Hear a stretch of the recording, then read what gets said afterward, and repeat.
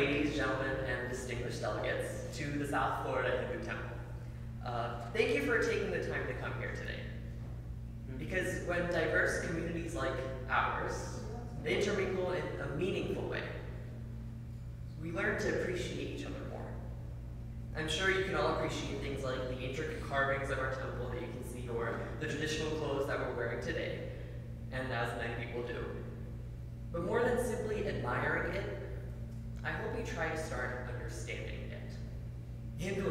not just here in South Florida, but across the nation, are a thriving and growing community.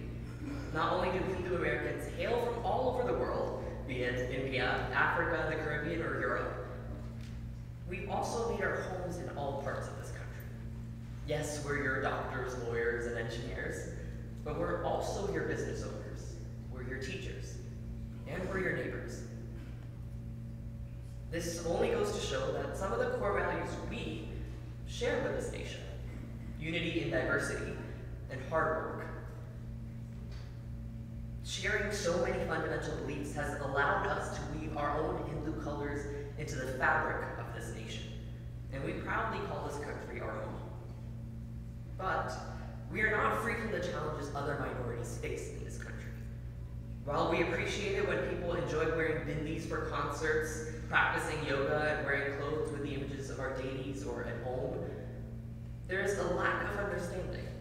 Sometimes the respect that should go along with it is lost in translation. Be it our clothes, traditions, rituals, or symbols, we've often seen ourselves misrepresented and misunderstood in our schools, by prominent individuals, and all over the media. As we move forward with your help, we hope to create a safer and brighter future for all Hindu Americans by bringing that understanding in our community. So today, let's take a first step towards creating that understanding together. So with that, I'd like to invite our Honorable Panditji and our youth volunteers to open us up with some opening prayers.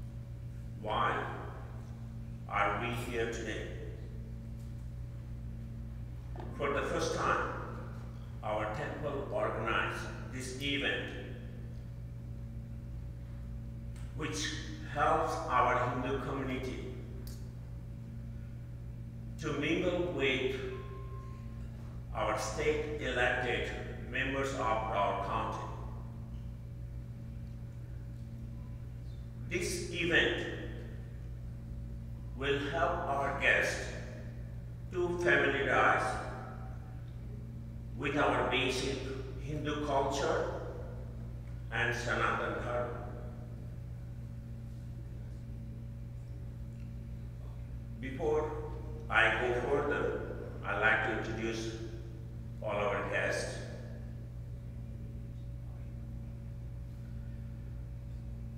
State Representative Robin Bartleman.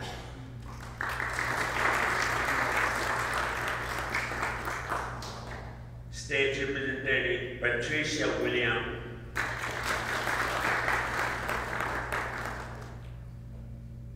State Representative Felicia Robinson.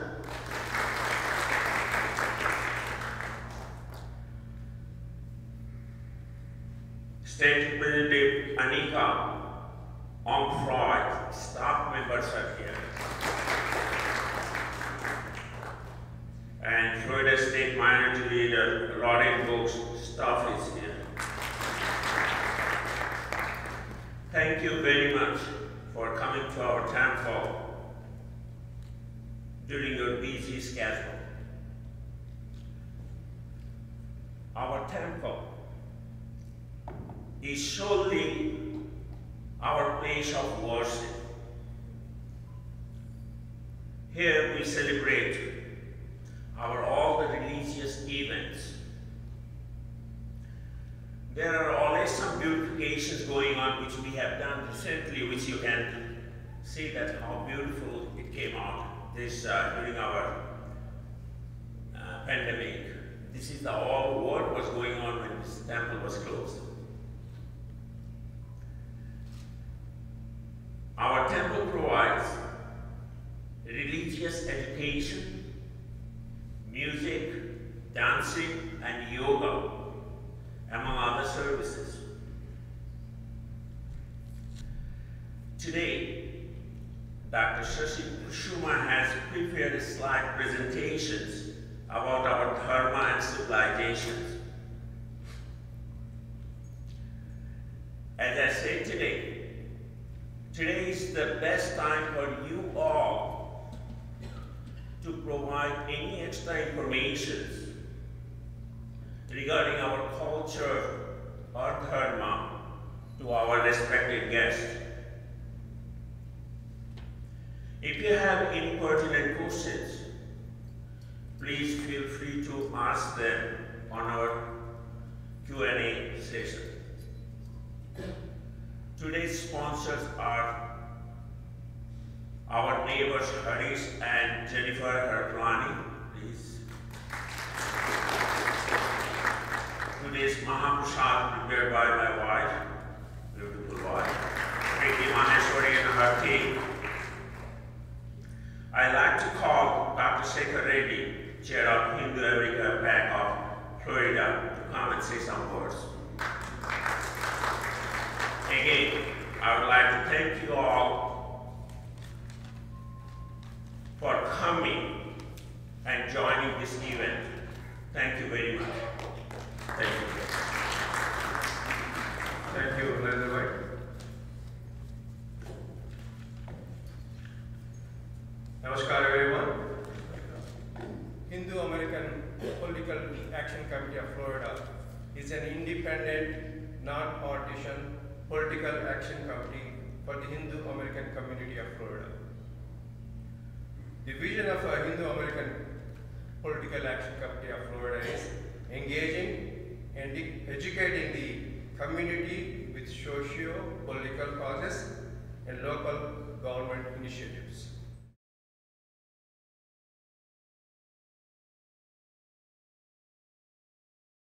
of our country, the greatest country in the world, the United States.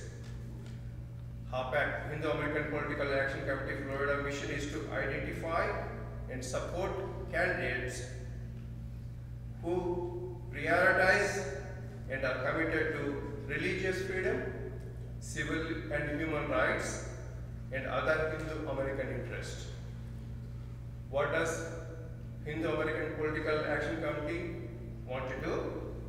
Campaign and fight for religious and civil rights of Hindu Americans, present accurate history of Hindu civilization in schools, correct misrepresentations of Hindu Dharma in media, ensure that the religious freedom and human rights of Hindus in other parts of the world are a priority in the formulation of US foreign policy on par with trade, security, and other strategic interests. Promote other policies impacting the broader interests of Hindu Americans. Cultivate and support the next generation of Hindu American policymakers. Thank you. Namaste.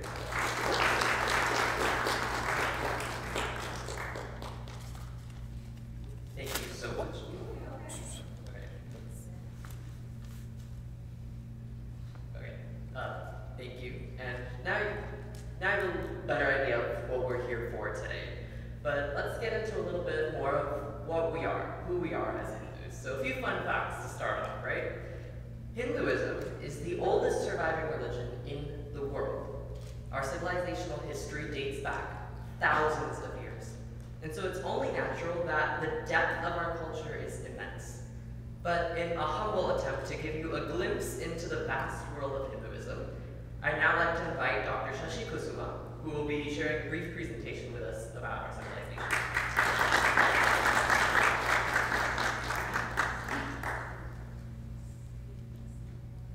Namaste, everyone. This is not a political event today. This is really an educational event today, so I just want to make sure that I get that across. This is truly about our community understanding the rich history of our very, very glorious civilization. So I'm going to try my best to condense almost uh, 12,000 plus years of documented history in about 20 minutes if I can. So please forgive me if I, if I try to rush through this. Okay, first and foremost, I'm a physician. There's a big culture in medicine about plagiarism, uh, you know, stealing ideas and stuff like that. So I never ever want to present anything without giving due credit. So I have a whole host of gurus in my life that I revere greatly. These are my professors in colleges, medical school, my parents, my wife, my kids, everybody is a guru at the end of the day because they teach you something. And of course, scholars and intellectuals that I put there, there are too many to read, but I just want to make sure I acknowledge all of them. So, you know, uh, if you, I grew up in India, and you know, it was part of me, my life to embrace our civilization because I grew up there. It's, it's everywhere. But when I came to the United States, I was a little bit confused because of my background. One of which is I first saw equality and liberty for all. But in our culture, it's always truth is the main starting place and the ending place because that's going to, that is going to liberate everything and everybody. So there's a difference in, in, in the thinking right from the get-go. So we speak about Satyameva Jayate, which essentially means truth alone triumphs. All right? The always, uh, the cause of a Hindu American PAC, you know, we're going to uh, take up is going to be to set the truth free because there's a lot of misrepresentation happening in the United States and across the world about our culture and our civilization. And Traditionally, we've been somewhat quiet about it, but right now we feel the need to make sure that we set the record straight and set the truth free. And our entire civilizational goal is something called Satchitanand. Essentially, Sat, Sat means truth, Chit means some higher consciousness beyond the mind, Anand means joyfulness or blissfulness. So our entire existence is about that, Sat Chit Anand. Okay, I'd like you to remember that if you can. And our culture is really called Sanatana Dharma. Okay, Hinduism is a recent terminology. Isms of all types are really impositions of the globalization movement. There is no ism. Our real uh, culture is about what we call Sanatana Dharma. Sanatana means eternal. Dharma is our duty. Another interesting thing I want to make sure that everybody understands is that I was confused as a young adult when I came to the United States because it was all about rights. It's about my right, my this, my that. It's all individual rights. But in our culture, it's a strange concept because there are no rights without duty. There is no rights anybody deserves without the duty that they, that they should manifest it uh, in the community. In, you know, so we have to see where do I fit in in the global picture where do I fit in in my community? Where do I fit in in the cosmic picture? What is my contribution to that? And that is my dharma. That is my duty. Essentially, that's where everything starts and ends. Okay? It is not really about rights. That's not what we fight for because if you focus on the truth and your duty, rights naturally flow through that. That is the concept of, of our culture. So many of you probably know a little bit about the Hindu community or India at large. Many of you probably associate this with curry, cows, and caste. That's pretty much what everybody thinks about. But this is an extraordinarily naive misrepresentation of our very, very ancient culture. Like I said, 12,000 plus years of documented history. So it could be even longer than that, we just don't know. So another thing that I always, uh, you know, come about is that, you know, there's a British invasion, there's a lot of British influence, there's a lot of Mughal influence, but that only covers a very, very short uh, time period in our culture. So I'm going to try to take you guys back a little bit to give you a, a tour of this. And, you know, as, as, as we talked about, many of you probably associate many Indians as nerds or geeks because many of us are doctors. I'm one. Uh, we have engineers, we're computer scientists, and recently you may have seen in the news many of the technology CEOs are from Indian origin. Some of them are Hindu, some of them may not be but that's what America generally knows about India. So let me tell you the full story. Let me tell you what I can in 20 minutes about what we, at least me, uh, uh, it, it, means to me. Because, you know, while I'm no expert in Hinduism uh, or Sanatana Dharma, because the freedom and the flexibility that our culture gives us is immense because it's always about self realization, self-experience. So of all of the varied experiences I've had, this is my interpretation of it, and somebody else may have a different one, but that's okay. That's the beauty of our culture. So there's a famous uh, historian named Will Durant, okay?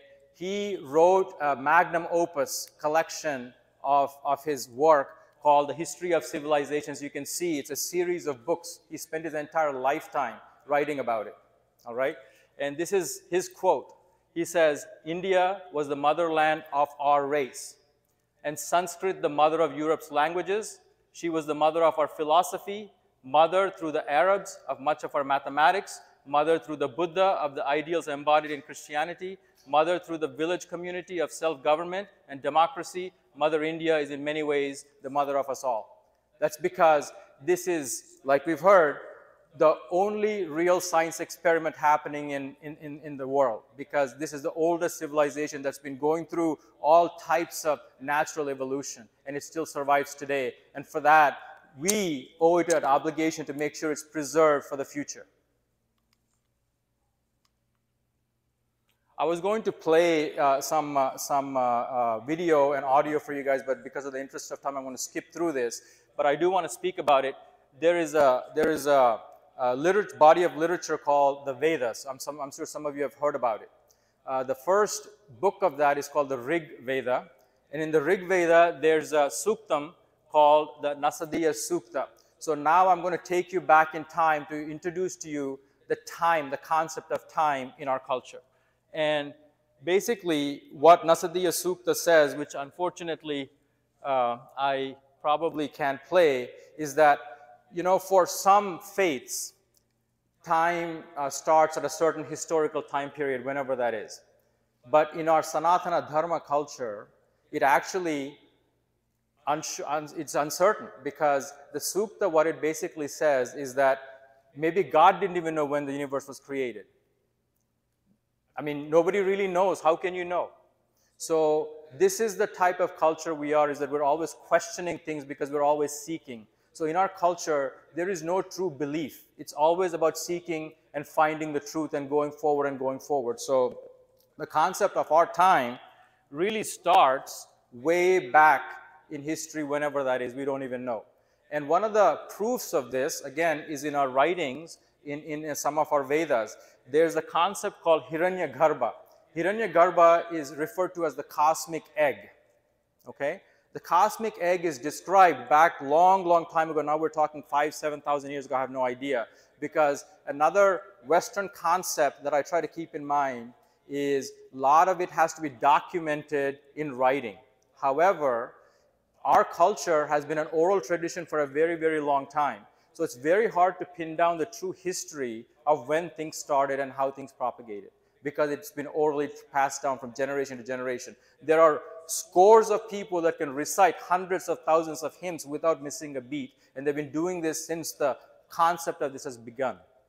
So I want you to keep that in mind is that all we know today is the documented history, but undocumented, I have no idea. All right? But the concept is something called the Hiranya Garbha, which essentially is the cosmic egg. It expands and contracts and expands and contracts, and one time the expansion force basically burst open. And that's when, that's when it's described as the beginning of life in general or some kind of a cosmic event. If you compare that with the Big Bang Theory, it's pretty much similar in concept. I'm by no means saying that we've discovered or we've described Big Bang Theory, but the the deep, profound thinking that went into realizing that without any true instruments or super collider and CERN, it's amazing to think about is that that is proof enough to me that with deep concentration, deep meditation, deep breathing, and accepting life as it is can reveal truths that we have no idea about. And that's what we're losing in modern life every single day. Okay? So the concept of time again. We think about minutes, we think about seconds, but if you look at this, our concept of time, the life of Buddha is trillions of, um, Brahma, I'm sorry, trillions of years. So you have to sit back and think about it and say, you know, how does a civilization even speak about this? How does that thought even come to mind to say confidently that this is my concept of time? This is five, seven, ten thousand years ago. How does, how does a person even comprehend that? You know, and then this, this is proof enough again to show the historical perspective of our, our, our culture is that the only way people have time to sit down and think about these profound thoughts is if it's a civilized society already. If you're a hunter and gatherer society, you're always trying to survive, trying to find food. But if you're sitting in deep meditation and concentrating, you have to assume that there is some kind of order in society there's some kind of realization in society, there's some kind of maturity in society that there's people who can sit like that and really understand the depth of what life really means. So that's another concept I want you guys to understand is because history as described in modern world is that, well, you know, this is what happened, that's what happened, but most of the time they're fighting, you know, they, they didn't have time to do anything. But if you want to sit and think of these and actually write hymns and poems and and, and what we call slokas and suktas, you have to have the time where the organized society supports you. Organized society takes care of you so that you can do these things and, and teach it to others. So that's proof, again, because a lot of times people ask for evidence. I mean, that's evidence. Just the existence of these books and these slokas and suktas is evidence in and of itself. And the concept again is Brahma, the one, one daytime of Brahma is described as 4.3 billion years. And when he closes his eyes, the night time for him is 4.3 billion years. That's the scale of time that Hinduism talks about, the Sanatana Dharma talks about. This is Mark Twain. Who doesn't know Mark Twain in the world? Mark Twain was a huge fan of Hinduism. He, he writes, India is the cradle of human race, the birthplace of human speech, the mother of history, the grandmother of legend, and the great grandmother of tradition. Our most valuable and most instructive materials in the history of man are treasured up in India only. So there's a theory right now going about called out of India theory, which means that since it was a sacred land, many things that happened have dispersed across the globe and spread across the globe because of the uniqueness of that, of that sacred land that India, uh, India is. So this mandir, this temple, we call it a mandir, temple, you know, similar interchangeable words, is a very important place because, you know, uh, this is like the epicenter of the community just like maybe a church would be or whatever would be. This is the epicenter of the society, of the community where many things happen. People get together, you do rituals, you bond, you share, you pray, you do lots of things. And so you can see how profoundly the architecture has been carved in stone. So when a community really cares about their history and culture and their faith and everything else, you take time to make sure it has character to it. You can imagine that is a stone carved temple and look at the detail on those, on those because that is the degree of detail that was given to all of these things. Because everything about life was geared towards life, towards that realization of the truth, towards the realization of Satyachanand, you know. Uh, so everybody took time with every action, every duty, everything that was done in life outside, inside the family was about that truth. And therefore, it is okay to have such events in a mandir like this because this is what the community is all about. This is what we should be talking about. This is where we should be gathering and educating people. There should be no separation of church and state in this case because we're not really doing any politics. We're basically organizing as a community to make sure the community is a good place, that everybody learns the right values, everybody teaches the right things. And there's no politics here. It's just about appreciating your culture and propagating it across because that's where everything should flow from. That's where everything should stem from. So this is Nikola Tesla. So I'm a big fan. Uh, I, I, I, haven't driven anything but a Tesla for the last 10 years because I'm such a big fan because I'm a science guy. But Nikola Tesla said, if you want to find the secrets of the universe, think in terms of energy, frequency, and vibration. For our esteemed guests, I want you to realize that I hope I'm getting across at least in a very early way that there are no prophets in our, in our culture. There's only truth. There's only science. So this faith is truly a scientific religion, if I were to say it myself, because it's all about energy. Because this mandir itself, okay, it's not just a concrete building. This is consecrated building because there's a source of energy here. There's a source of pride here. There's a source of meaning here. It's not just a couple of walls where you just get together because everything that's here is carefully thought through, where it's positioned, where it's placed, how it looks. Every single thing has a meaning. Every single aspect of this mandir has a meaning. And this is, you multiply that across the whole globe and across Bharat and across India, you can imagine the glory that goes into constructing just a simple mandir. So sounds and vibrations and frequency and energy and Sanskrit. So I told you guys about uh, the birth, birth of life or the universe or whatever with the Hiranyagarbha or the cosmic egg or the Big Bang. That is nothing but sources of energy, essentially. That's what was realized is that life is about energy. Life is about transmitting this energy and being part of this energy source. And therefore, you can see the, the deep respect to understand the sounds, the sounds of the mantras, the sounds of the om, the sounds of the chanting, the sounds of the hymns, the rhythmic nature of it. It's all to be part and feel that energy within you, within the mandir, with everybody around you. So that's why our shlokas that you heard just now, our, our mantras, are so specifically uh, said in a very specific way because the goal is not just to recite it blindly or just without, uh, without concentration, it's to actually feel the vibration. It's actually feel that, that energy that comes out of reverberating because your entire body pulsates to that energy. And therefore, Sanskrit is such a profound language because Sanskrit has 4,000 grammatical rules. 4,000 grammatical rules. Okay?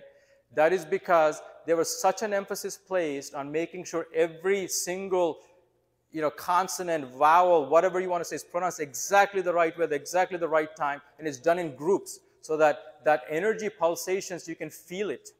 And, you know, so you'll, you'll hear this all over our mandirs. So I'm tying it back to science. That's why I call it a scientific religion. So symbolism. So I think you guys must have heard a little bit of symbolism that Dr. Chandrasekhar probably told you guys about. But every deity, every devata, every bhagwan, every, every god, whatever you want to call, is a manifestation of some symbolism of this life and this energy source. And if you look at this, this is from the famous Mahabharata. Okay, Mahabharata is one of our, what we call itihasa. Itihasa is a term in Sanskrit which means as it happened.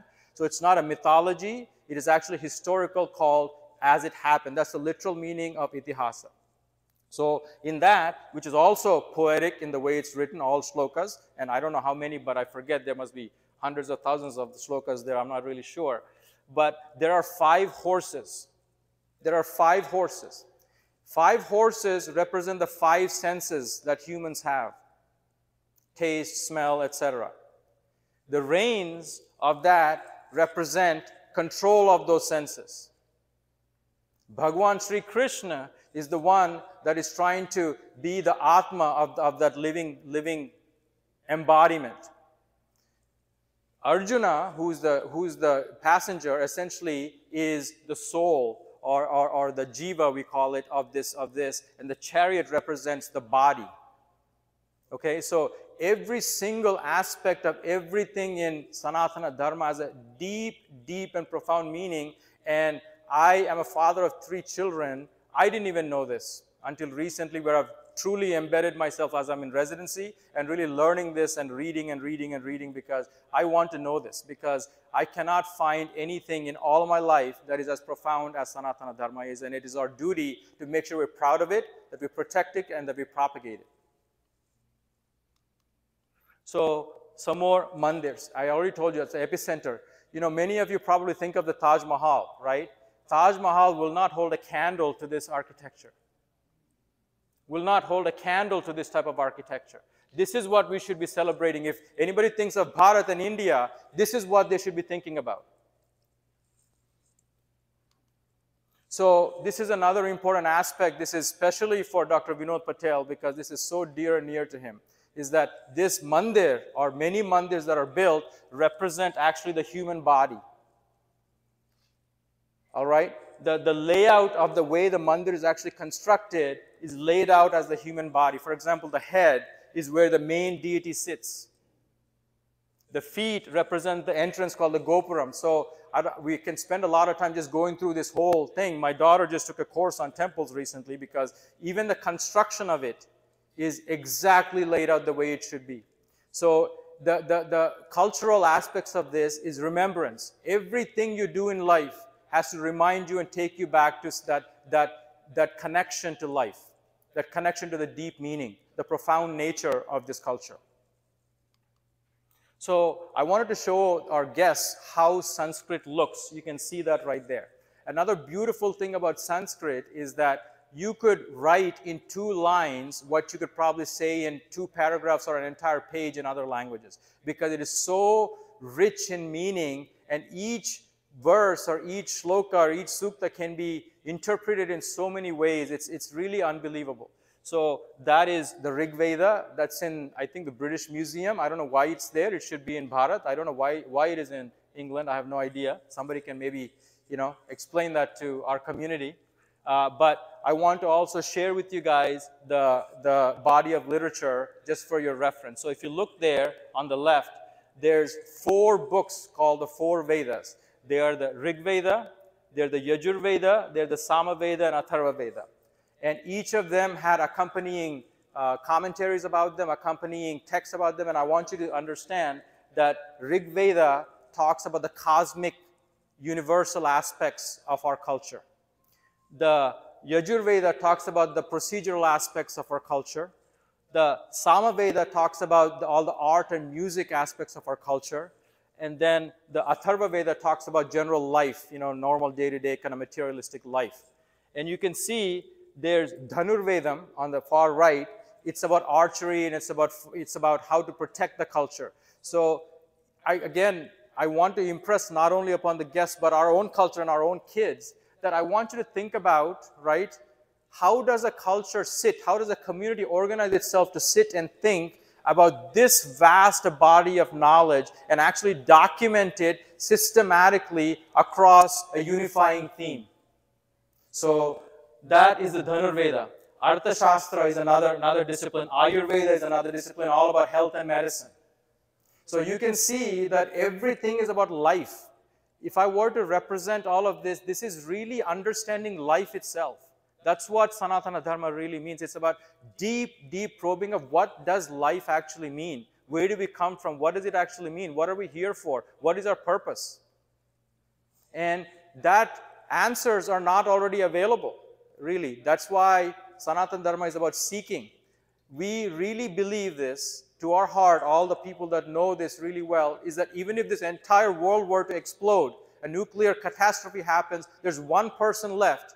Because this is eternal truth, that person can realize all these truths on their own if they spend the time to learn it. So there's no need for us to have a prophet in that sense for a community because every single one of you is capable of realization, realizing that. It just requires the discipline to realize it. So all of you here are potential to be a God. That is a big difference between other faiths and our faith. Each one of us can realize this truth. It takes methodology and training to achieve that. And therefore, Sanatana Dharma is all about peace, right? If I feel in my heart, if I experience divinity within me, if I know that you have divinity within you, I would never want to harm it. There is no othering. There is no othering because it's all part of the same universal consciousness. So these are deep, profound thinking and thoughts that we have to really embrace, right? So Sanatana Dharma has been a very, very peaceful society that only spread wellness and you know, goodness to all over the world. So the three itihasas that everybody should know about, uh, really Bhagavad Gita is not an itihasa, but it's part of the Mahabharata, but I just want to make sure that I give due credit there uh, those are, but that's, that's part of our vast, vast body of literature. So I want to talk about this for, for just a moment because, you know, India or Bharat has been an epicenter of intellectual thinking, okay? Intellectual thinking. You can see the breadth and scope of the map. The far left on the top left goes into Afghanistan. The far right goes into Southeast Asia.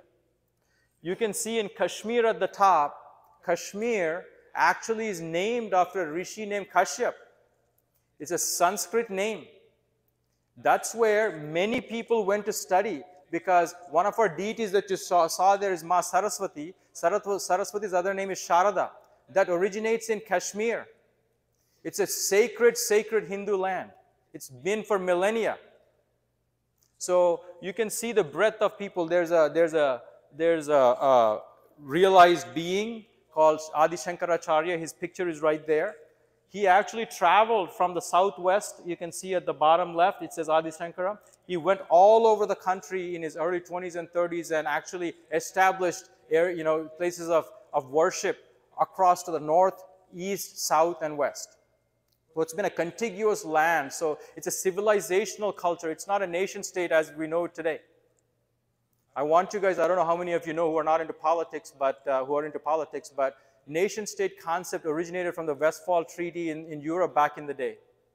That is not what India or Bharat is about. India or Bharat is about a civilizational identity that spans across a very, very broad geographic region. It's a geographical identity because any culture really gives birth based on the surroundings, the, the temperature, the rivers, the, the agriculture, the soil, the birds, the fauna, the flora, all of those influence the cultural development and that's why it is unique into one place. You can't uni universalize that in the sense that it, cannot, it could not have been born elsewhere. Just like American experiment could only happen here, it could not happen elsewhere. Similarly, this type of uh, culture can only be born in a place like that because it is interacting with the environment. So education, the next concept, right? It's an intellectual place. Education was deeply embedded everywhere. You could see that is called a Gurukula system. Gurukula system is there is one guru. There's a difference between you know a teacher and a guru. A teacher just simply imparts knowledge to you of a subject matter. A guru is really like a life coach. Okay? The guru actually takes you upon takes upon the duty to nurture young kids to make sure they become the most profound human being that that person is capable of being again, which is to realize that universal consciousness called Satchichana, Satchichanan. I kind of can't say that properly, I'm sorry. But uh, it is to make sure that every human reaches that potential because every human has that potential. So that is where the, the shikshas or the, or the kids sit, you know, uh, in reverence below the teacher. The guru imparts the knowledge and they embed themselves in nature. You could see it's actually in nature, it's not in a classroom. Because they're encouraged to go outside, to interact with nature, to interact with animals, to interact with everything and have quiet time and do all the practices that have to be done. That is again a picture on the top right. All those dots with the names in the map of uh, Bharat show uh, essentially all the universities that existed back. So nowadays, everybody wants to come to the US because it's such a wonderful place to learn. Everybody comes here to Stanford, to Harvard, etc. But back in the day, that's where everybody went because of the universities. This, all of this has been destroyed due to invasions and hopefully it's, you know, there's going to be a huge resurgence with us waking up and supporting these causes. But there existed hundreds and hundreds of very big universities with dormitories, with, with subject matter expertise, where people from China, Japan, you know, uh, Middle East, everywhere, Europe, they came to study and learn. And one of the most famous ones that people know about is called Nalanda. Nalanda University, we just heard uh, Shinzo Abe passed away he actually came to India and he started a movement to revive that university and he was the first one to encourage it. And therefore, uh, you know, I know that, you know, there's Japanese uh, folks that know about this. I know that Chinese folks know about this and he recently came, you know, due respect to him for his passing away, but he was the one that wanted to revive the Nalanda University because there's a lot of Hindu influence in, in Japan as well. So this is the trade route this is the trade route of how knowledge spread across the globe back in the day. India is in a very unique place where you can almost imagine it's carrying the world on top of it. If you really look at it, it looks like it's carrying the world on top of its shoulders. And geographically, it's surrounded by water everywhere. It's called the Indus Sagar. Himalayas on the top. So it was a very protected area as well and climatically, agriculturally, environmentally, it was a very, very unique place because it's extraordinarily diverse amounts of things that could have happened in that land. It was not, there was deserts there, there's rainforest there, there's all kinds of geography there. And people came across the oceans and, and spread. Therefore, the knowledge also spread across the globe, not just trade. And as an example, the far right here, you can see that's called the Angkor Wat Temple in Cambodia. That's not in India. That's in Cambodia in the Southeast Asia. That is the world's largest mandir, sim, I mean similar to this, but it's a temple built in Cambodia. It still exists today. I did not know this two years ago. Shame, shame on me.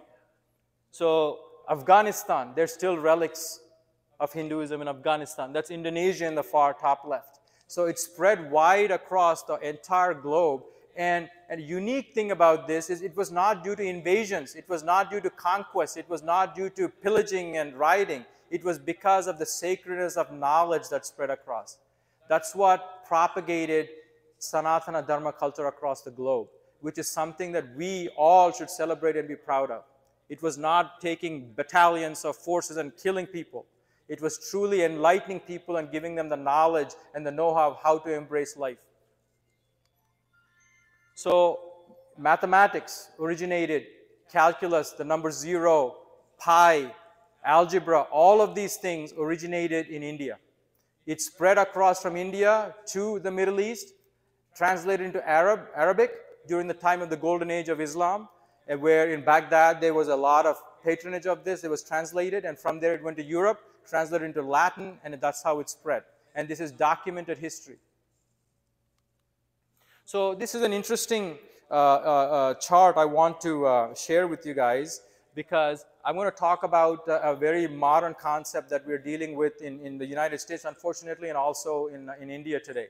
So that is the representation of GDP as percentage of world GDP from one, one century, the first century, current era, all the way to 2003. This was conducted by Angus Maddison, a historical econo economist, which is an accepted, accepted, validated research in the sense of validating it by other intellectuals. If you notice, India, the GDP contributed on the top left almost 33% of world GDP. 33% of the world's GDP. Through invasions that started in 700, 600 uh, CE, you can see the steady decline of what happened to that glorious culture. It is, it is, it, it pains my heart to see this chart because I look at this every other day. It tears me up to see the glory that we were and what we've become. You can see China and you can see how things have changed and you can see a rapid decline since the British invasion that happened in India. This is something that should wake every, every, everybody up to see this is where we stood. And one of the things I got to realize from this is that a society's organization is important. A community's organizational structure is very important because if you embrace the life that the ancients did, you could become that, which is materialism, which is what modernity is all about. If that's what you really care about, if that's all you care about, you should still embrace it because that's the proof right there. So one thing here I want to tie into modern society is caste, right? There's a big, big discussion about caste in America and in India.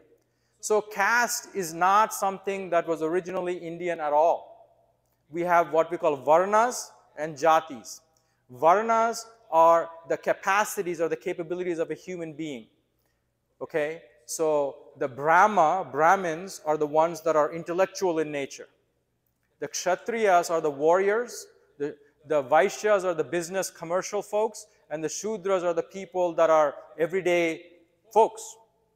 That's how a society is organized. And I, I dare anybody here to tell me, how is a corporation organized?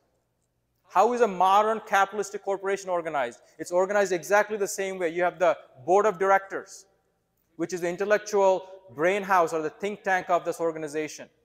Then you have the executive management team, which essentially is Kshatriya that's trying to make sure everything runs well and is protected. Then you have the Vaishyas, who are all the salespeople, commerce people, finance people that are making sure that the, the business is actually earning money.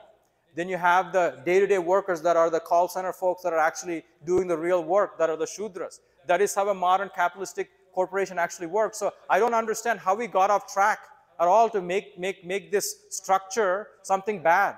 So many of you probably know, some of you may not know, caste is actually a Portuguese word. It's not even a Hindu or Indian word at all. And how blind does a society have to be to not realize that this has nothing to do with us at all? I already showed you the contiguity of our motherland where everything was connected, interconnected. It was a civilizational culture. How did we forget this very basic aspect? We can discuss this in Q&A if you guys would like because I have some thoughts around it, but I just want to make sure about the caste. So that is not caste. That is the organization of a human. The Brahman, you could be a Brahman when you're intellectual thinking about it. You could yourself be a Kshatriya because you're protecting your family. You could be a, a Vaishya because you're earning money to kind of take care of your family. You could be a Shudra because you're tilling your soil in the back to garden. We could be every one of those characteristics. And jatis basically are the trade skills that we have. You know, a singer may have, may, you know, kind of create many singers. Uh, uh, textile folk may generate many textile, you know, kind of family legacy kind of thing. That those are jatis that nothing to do with caste at all. So another aspect, right? Yoga and mind sciences you know, I, I'm a plastic surgeon by trade. I, I, am in beauty, basically, because that's what I do. And I see many people coming as I'm going to yoga, I need to look good in my clothes and stuff like that. And I just kind of internally laugh at it a little bit uh, because I just kind of find the absurdity in it because yoga has absolutely nothing to do with stretches at all. Every aspect, again, of yoga is to prepare your body and your mind to realize that ultimate consciousness. All the stretches that you see happening is to create an awareness that you could sit quietly without any bodily disturbances for hours on end so that you realize that deep profoundness that the rishis realized back in the day. So the stretches, while they give you physical benefits, the real purpose of it is to be able to sit down quietly without disturbance, without pain, without aching, and be happy within yourself. Again, culturally speaking, think of a community of people that are that kind of a community. How would you ever have violence in that community? Why would you need violence in that community? Why would you need rights in that community? It's all about duties because they all flow from that kind of a human potential and realization. And those are first principle thinking that India did, that Bharat did, that Hindus did. First principle thinking. First, let's be real to life. What does life actually mean? Let me realize that truth.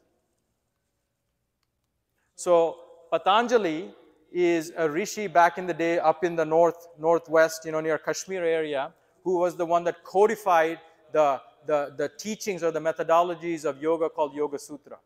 But I also showed you the, the chariot where Sri Krishna that uh, revealed the, you know, revealed some teachings basically to Arjuna who was questioning whatever he was. He also spoke about yoga in that, in that time period as well. And that was dated to 5,500 BCE, that's 7,000 years ago at least that we know of.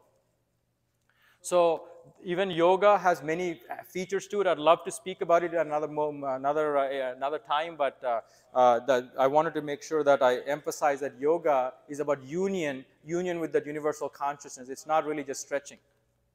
And you can see everything is going to gear towards realizing that human potential, which is immense, to make sure that your divinity there.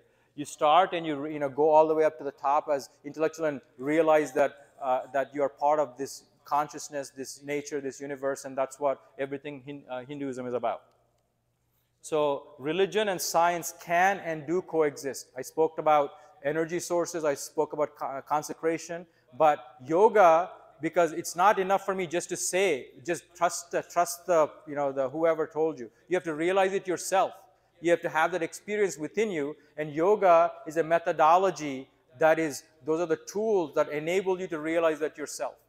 So I want you to understand the profound nature of this culture again is that not only did it tell you, it says, this is what you have to do to realize it yourself because don't believe me, don't trust me, you do it yourself.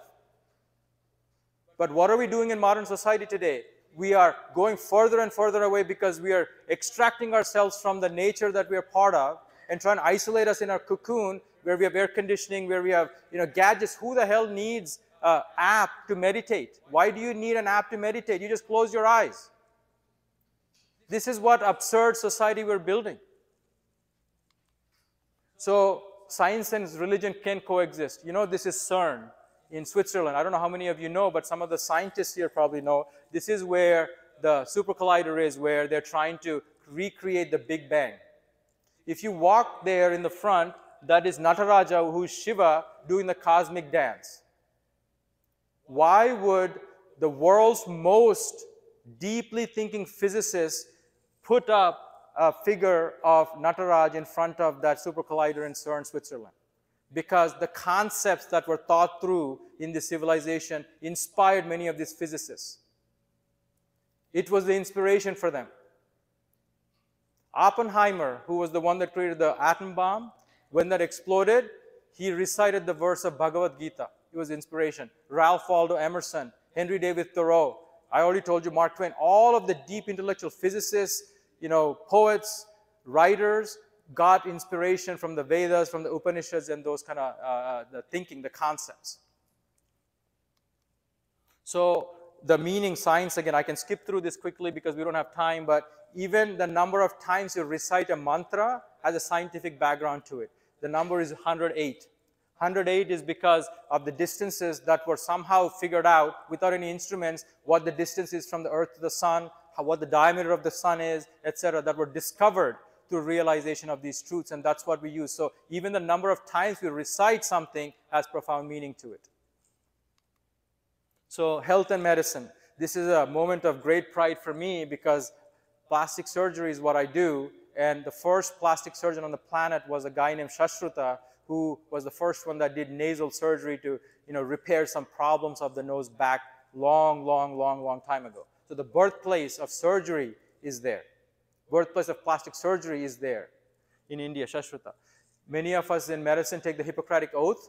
There was another oath called the Charaka Oath. There was another medical guy named Charaka who also had an oath that was compulsory for people to recite before they accepted this very sacred, you know, healing uh, mechanism. So pranayam and you know breathing. So I want you to first focus on the top right. This is in the Scientific American Journal. This proper breathing brings better health. This is very recent article, just a few months ago, and you can see the bottom right there breathing in a certain way. If you look at the top left, that's an ancient depiction of the exact same technique on the top left. So it is a unique thing again for me, if you're really focused on the truth, is that why is it that when it's in a modern scientific journal, suddenly it becomes acceptable for everybody, even for us Indians? I don't understand it. This has been revealed thousands of years ago. You can see, you know, young folks, old folks, you know, you know, saints, priests, everybody doing it because modern science have now shown that these breathing techniques, these yoga techniques actually have profound influence on health. So diversity, inquiry, questioning, reason, logic, and seeking, it's a very scientific religion. Sanatana Dharma is a very scientific religion. So in medicine, I want to just make one point because uh, I at least have the credibility to say so. You know, a lot of Western medicine, I think, gets it wrong. A lot of Western medicine, Western thinking is about reductive thinking. Essentially, you take an organism like a human and you break it up into as many little components as possible and you study the effects of that one broken up part to see what influence the environment has around it. Take cholesterol, for example. I don't mean to insult any cardiologists here at all, but it probably has profound a very isolated scenario by correlating it with number of heart attacks or whatever, but we don't know the myriad and millions of billions of other interactions that happen in the body that lead to a person's health a certain way. Right? So it's very reductive. However, the medicine that was realized in, in ancient India was holistic in nature from day one. Now we talk about precision medicine, customized medicine. That's basically what Ayurveda thinking is, is that how, what is the quality of, the, of you? How do you realize the quality? How do I make sure that whatever medication I give you is suited to that particular personality? So it's a very pluralistic society.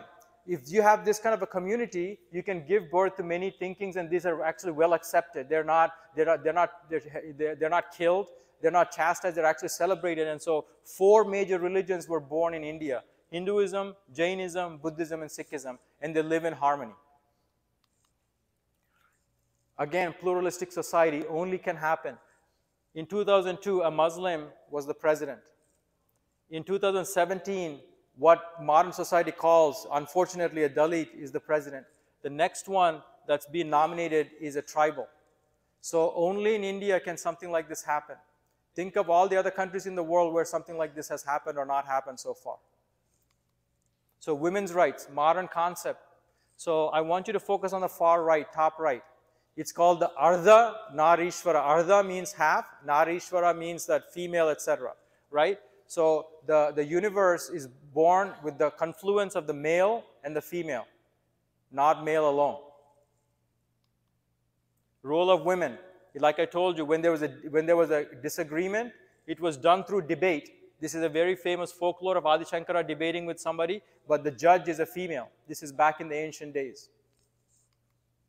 Structure, respect, and tradition. You can see the president of the United, uh, president of India, touching the feet of somebody he's awarding something to.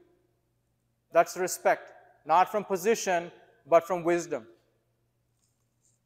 So nature is very much part of what we, what we are about. I'm trying to rush through this. I apologize. There's so much I want to say, but I have to rush through. But it's all about nature, you know, uh, celebrating fire, water, earth, and this is in the modern world called pagan religion, maybe, as you know, many young people may relate to. But this is realizing life. Animal rights. You know, you heard about vegetarianism. You know, respecting all life because we are not put on this earth to pillage this earth. We're, we're put on this earth to be in coexistence with everything around us. So everything has life in it. Everything deserves the respect, not just us. So for me personally, Hinduism is like a giving tree. You know, giving tree is a tree that has deep roots in the ground.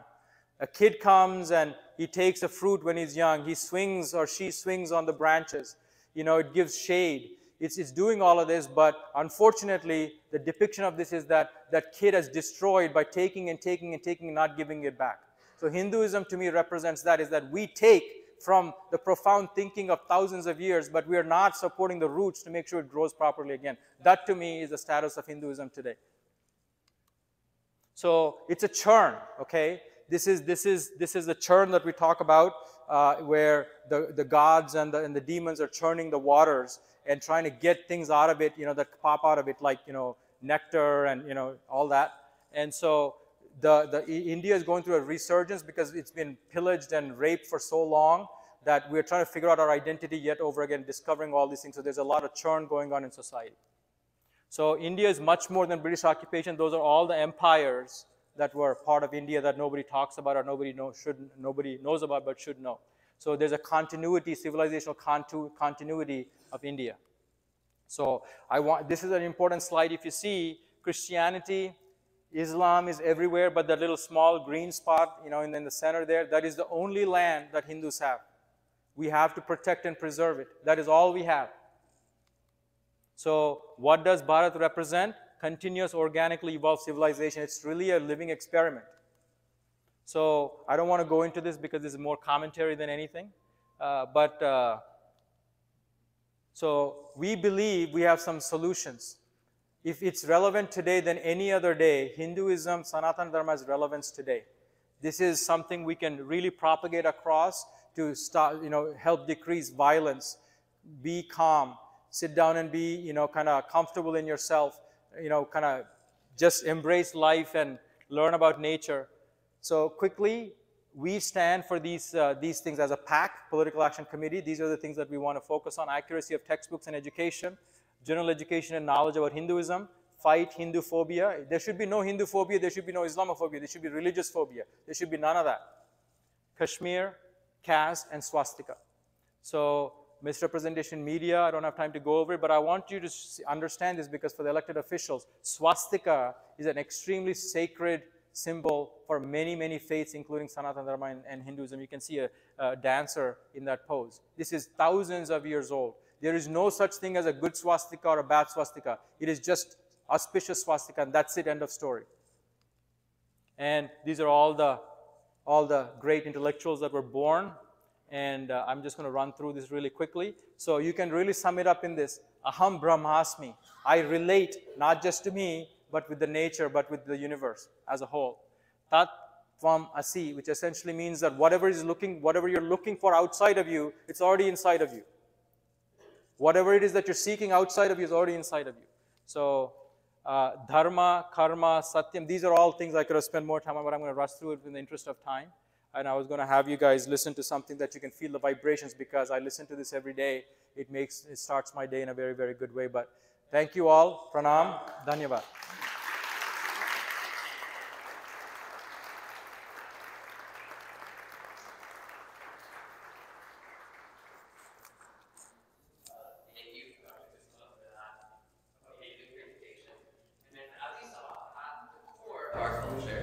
We're seekers. That, that was a lot to digest, right?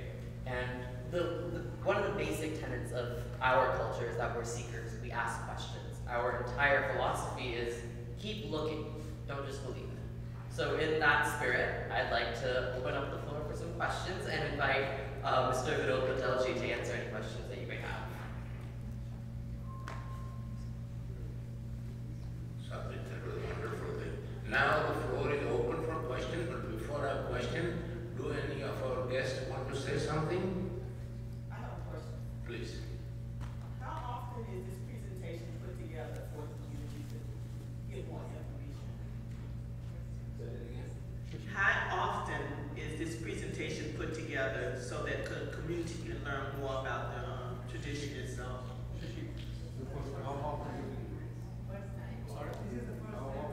Yeah, but you know, let me answer this. What we do is, since we opened the temple, we do have segments that we present to the community. There is no way we can have such elaborate presentation, but in piecemeal, we share with our community what we mean and what our religious mean. And many times we all get together to sing, to uh, pray, and that conveys a lot of meaning.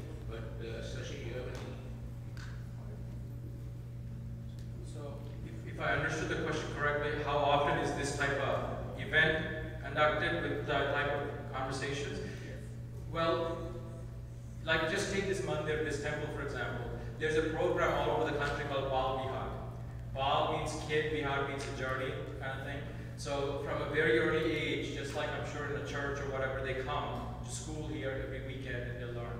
But this is now a bit more of a higher level organization. So the concept that we're trying to accomplish here is that Hindu civilization is up here, right? Everything else, all local organizations are below that in a sense of preserving the civilization first, because if you have, if you don't have that, you have nothing.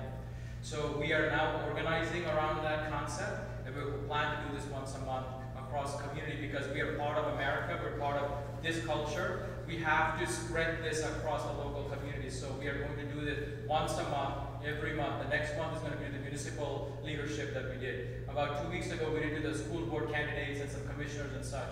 And so we plan on doing this, and it's actually being broadcast out of the country because other parts of the country also want to replicate this model where mandirs and all of us combine forces and do it together because we're trying to unite everybody. Yes, sir. Yeah, but Following up, can you send a file, YouTube or something else to the participants here or to your? So, you know, I'm very proud today because two young kids are actually live streaming it right now. You can see that's what they've been doing. So it's going to be stored in eternity, hopefully on YouTube, unless some catastrophe happens to the server farm. yeah, yeah. I don't have a question, but I just wanted to kind of thank you all. Being that I'm an educator and I've been an educator for the last 28 years, is so knowledgeable, and I always believe that people know better when they do better. And so the information that you all have shared here with us this morning was very enlightening, and it just really opened up your mind to a whole lot. So I appreciate it, and I think that that's whoever decided that this was something that they needed to move towards. It was a great thought, and I hope that you all continue to do that.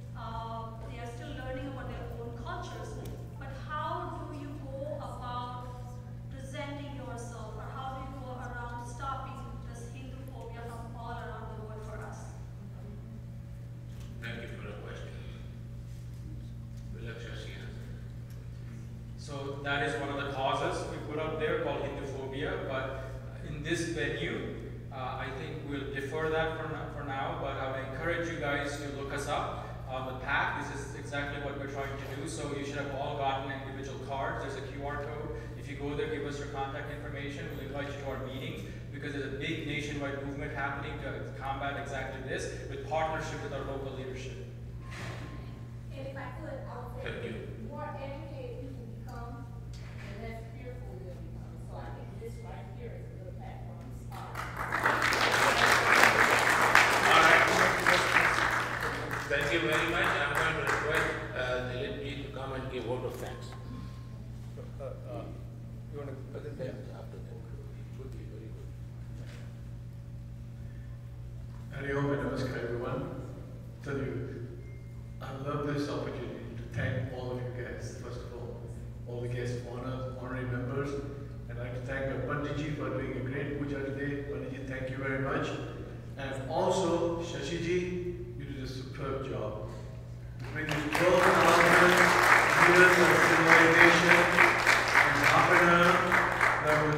leaders really appreciate it.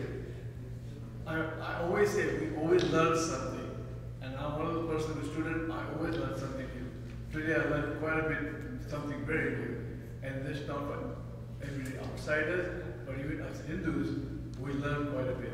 So once again, you from a bottom want thank you to you. Really. And once again, I can say thanks to our honorary guest from bottom of heart and on behalf of Temple, I want to thank you for being with us today, and we really appreciate it. And anytime if you're passing by, come on in, anytime. My Temple's open seven days a week, morning from 10 to 12, and the evening from 7 to 9. You're all are welcome all the time. And we, already thank the sponsor, Jennifer and Harish Apani, and all our volunteers, all our savers. You guys did a good job with all yesterday, and especially Satvik, you did a great job. I'm proud of you and proud of all you students. Continue, please. And now I'm going to ask our, uh, man- like, yeah, to the give presentation. Also, I want to thank our temple volunteers.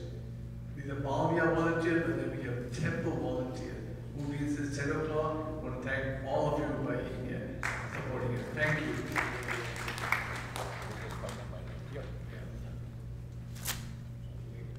Can we invite the uh, guest chief guest, Felicia Robinson, Patricia Williams, uh, Robert Waterman, and Belleville staff member, Anika Moncrief staff member. Thank you.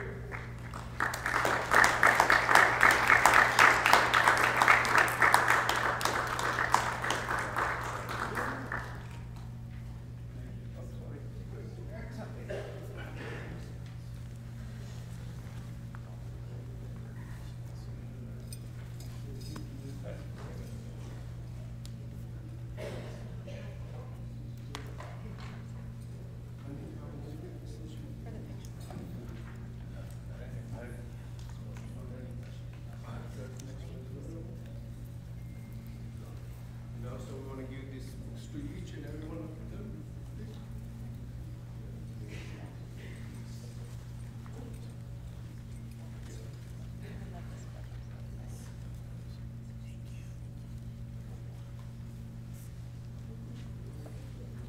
So this uh, book is about, can you see the book? It's a Hindu culture and our Dharmic traditions of India.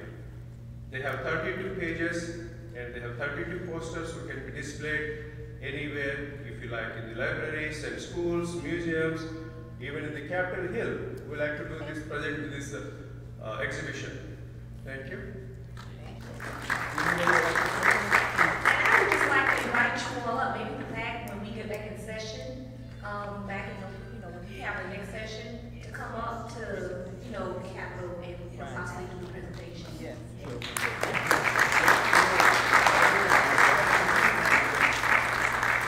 I just want to thank each and every one of you for coming out and sharing this with all of us. I think it's really, really important. Um, the only way we're going to combat hatred is through education. And what's really important in what you're doing is you're not just focusing on the state or the national level. I heard Shekar talk about school board candidates.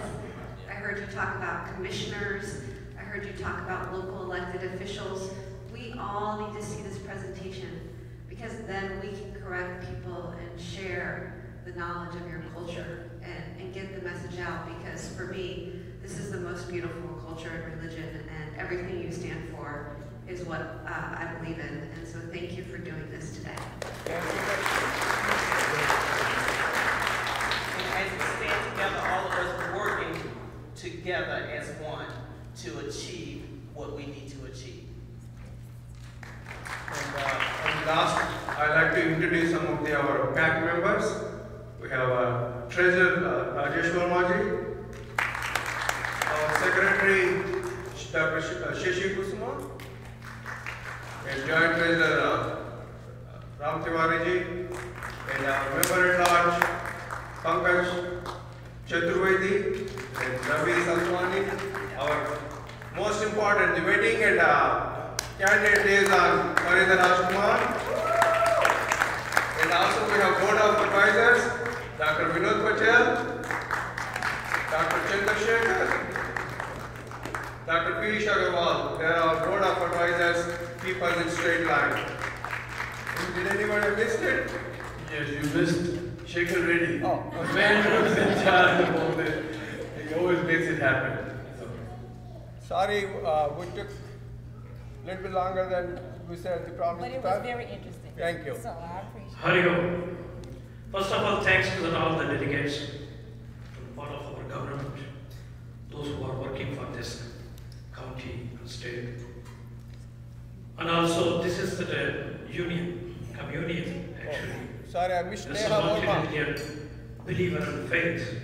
We are coming, getting together, and also we are blessing behalf of our temple and our community people, all the delegates, which is the aims and goals they are under this position.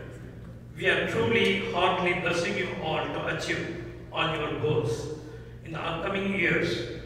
Bring that brightful future for the humanity. We are here to witnessing with our holy hymns of- from the Vedas. We are blessing you all. Please enjoy. Hari Om. Om श्रीवत्सस्यमायुष्यमारोग्यमावीत शोभमानं महीयते धान्यं धनं वसुं वदपुत्रलाभं सदसंवत्सरं दीर्घमायुः सदमानं भवति सदायः पुरुषः सतेन्द्रिय आयुष्येवेन्द्रिये प्रतिष्ठति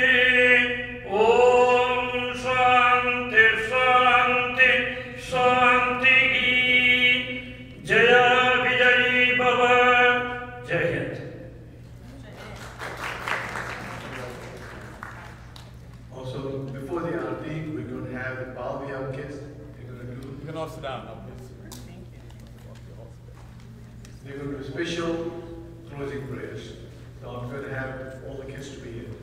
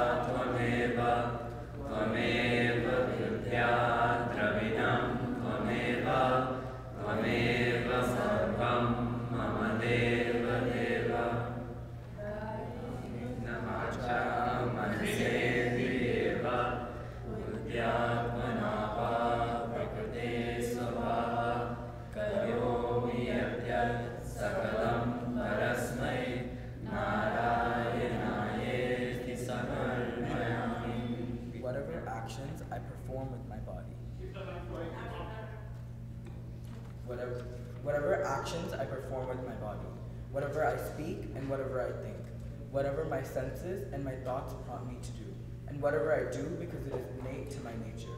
All these actions I dedicate to thee, my merciful God. करचरणकृतं वा कायजं कर्मजं वा श्रवणनयनजं वा मानसं वा पराधं भीतभीतं वा सर्वमेतत्क्षमस्व जय जय करुणापदे Mahadeva Shambho. I might have performed wrong deeds with my hands or feet. I might have seen, spoken, heard, or thought wrong things. I might have committed a wrong deed, knowingly or unknowingly. May you forgive me of all these wrongful deeds. You are the compassionate one, and may all the glory be to thee. Sarvesham swaste bhavatu, sarvesham shantir bhavatu, sarvesham